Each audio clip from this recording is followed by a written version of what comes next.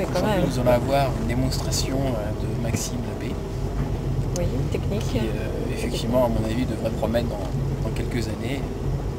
Et pour cela, il faut qu'il se fasse encore un peu mal et ça devrait Vous marcher. pensez que c'est très prometteur pour lui? Ah oui, oui, il a, Il a des chances. Il a un gros potentiel. Un gros potentiel, d'accord. Bon, bah écoutez, on va, on va voir ça.